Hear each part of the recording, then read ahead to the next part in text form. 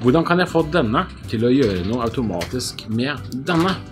Følg med og se hvordan du kan bruke Microsoft Flow, som følger med gratis i Office 365, til å automatisere store og små oppgaver for deg.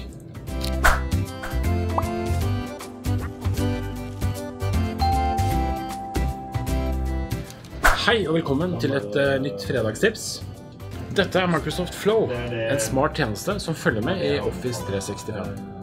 Men som du sikkert ikke har hørt om tidligere. Og da er du ikke alene. Microsoft Flow er nemlig en liten perle som har kommet i skyggen over alle de andre programmene i Office-pakken. Og virkelig fortjener å bli vist frem.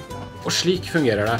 Du tar f.eks. et program eller tjeneste som eh, denne, og lar Microsoft Flow koble den opp sammen med en annen tjeneste, f.eks. som Microsoft Teams. Og da har du skapt en automatisk eh, oppgave en flow som gjør oppgaven helt automatisk for deg.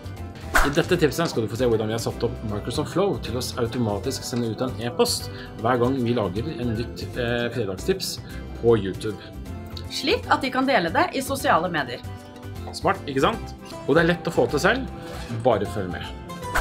Du kan starte med å gå inn i Office 365-portalen din, som du finner på office.com. Og her borte på siden finner du Flow. Inne på Flow har Microsoft laget flere ferdige maler som forslag til aktivitet som du kan automatisere.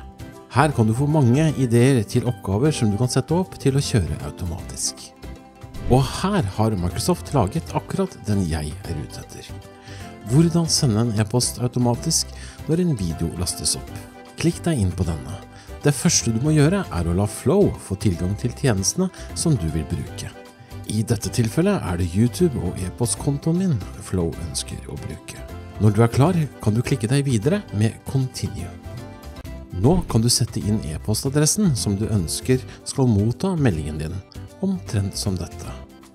I emnefeltet setter jeg inn ferdig tekst som skal brukes hver gang meldingen går ut. I teksten ser du at jeg bruker dynamiske felter, slik som denne, eller som denne, som f.eks. tittel på videoen og linken til YouTube-videoen som endrer seg fra gang til gang.